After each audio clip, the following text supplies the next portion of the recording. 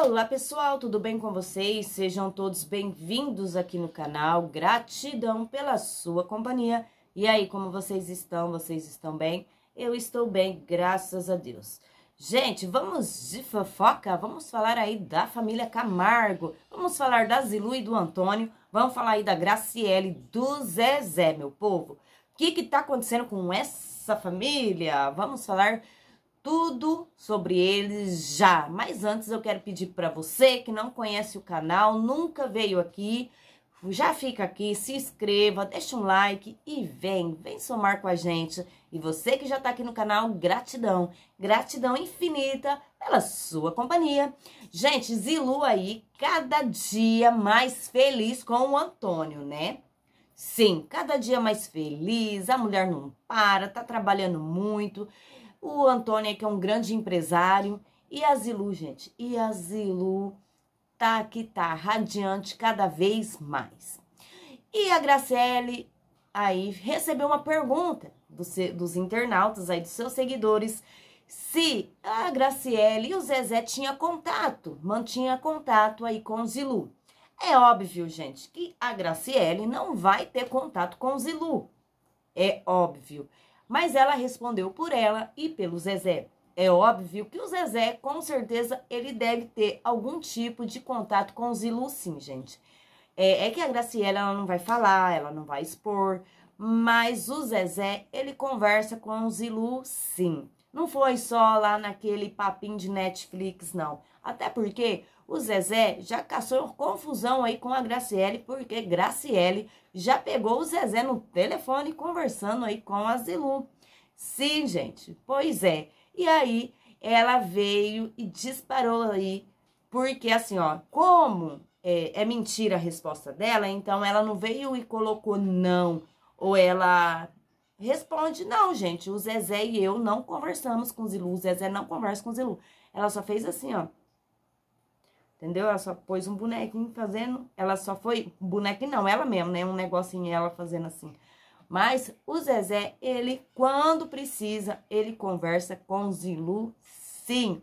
Quem procurar ver em muitos vídeos de muitos youtubers por aí, tem e tem. Gente, tem. O Zezé conversa com Zilu, sim. Lógico que não é de amor, mas sim de coisas que ainda eles têm, gente. Eles não separou tudo ainda. Tem coisa entre ainda Zezé e Zilu. Eles são pessoas muito ricas. Eles não separam, não divide tudo assim, sabe? Nem a fazenda, gente. Nem a fazenda que, que assim, eles não desfez, entendeu? A fazenda ficou ali pros filhos de Zilu. É lógico que a Zilu vai ligar, vai saber, vai... tem que conversar, gente. Tem que conversar.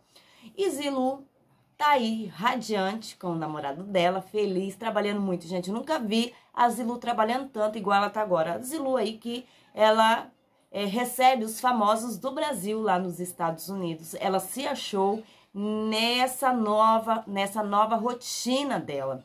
Sim, a Zilu se achou nessa nova rotina, gente. E olha, eu tava pensando aqui, a gente fica falando, fazendo vídeos, fazendo críticas, é, ah, isso não tá certo, que não tá certo, que nem, vamos supor, a separação aí da Vanessa Camargo. Vanessa Camargo, todo mundo criticou, falou, falou que ela separou do Marcos Boaz. Para voltar com o seu primeiro amor, que foi o Dado da Labela. Lembrando, gente, que depois do Dado da Labela, o Marcos Boaz já não foi o segundo, tá? Ela já namorou com o cantor do KLB, eu não sei se foi o Leandro. Não sei se é Leandro o nome do rapaz, mas ela já namorou aí com um dançarino é, da banda dela. Ela já namorou com o cantor do KLB. E depois aí que veio o Marcos Buais, tá, gente? Então, de todas as maneiras, o primeiro amor da Vanessa, o amor da vida da Vanessa realmente foi dado da Labela. Se os dois vai ficar juntos até o fim, agora a gente não sabe.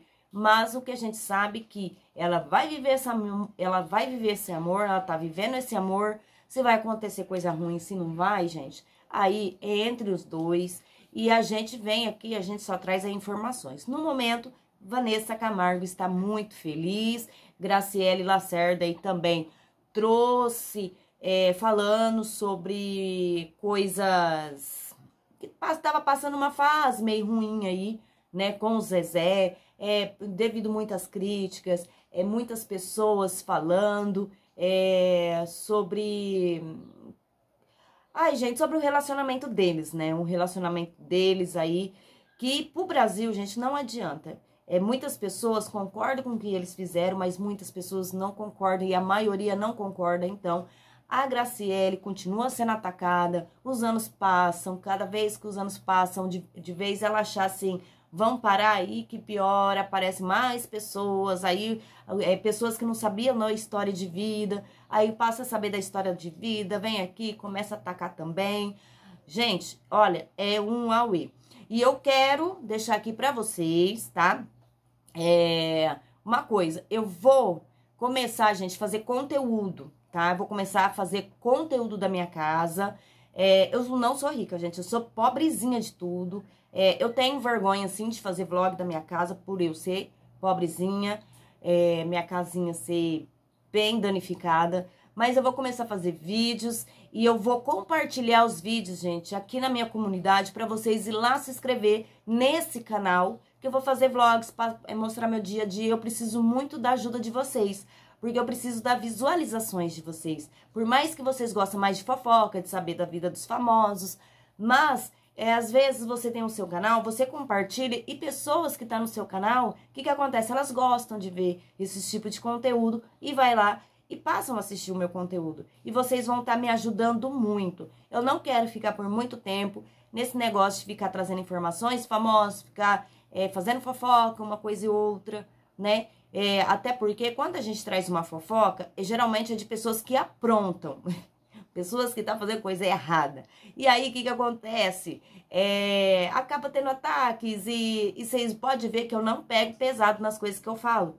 Tem muitos canais que falam até palavrões aí, né? Eu não consigo ser assim, porque cada um tem a sua vida, cada um tem o seu jeito de viver, cada um sabe se ele tá certo ou errado. A gente vem aqui, a gente dá nossa opinião, mas essa eu não sou assim, tá, gente? Essa não é a minha vibe e por isso que tudo que eu falo, eu falo com cautela. Eu faço, eu falo assim, eu penso para falar, eu não saio falando de qualquer jeito. Que a coisa mais triste é você falar coisas que, por mais que a pessoa mereça ouvir, por mais que a pessoa mereça, mas aquilo dói nas pessoas, é, em outras pessoas que nem seja a própria pessoa, mas pessoas da família que vêm e assiste, machucam elas. Então a gente fica sabe assim? Então eu quero sair um pouco da vibe da fofoca e começar a fazer, mostrar mais minha vida, minha rotina, sabe? É, querer ter amigos, eu quero ter amigos, gente. É isso aí, tá? Você que não é inscrito no canal, então se inscreva. Você que já é inscrito, gratidão pela sua companhia. E quando eu começar a é, pôr os meus vlogs, lembrando, gente, que eu sou humilde, tá? Quando eu começar a é, gravar os meus vídeos, eu vou postar na minha comunidade. Eu quero que vocês vão, vai lá, conheça a minha vida, conheça a minha rotina, conheça quem é Tati Ferreira, tá bom? Então fiquem todos com Deus, um grande beijo e até o próximo vídeo.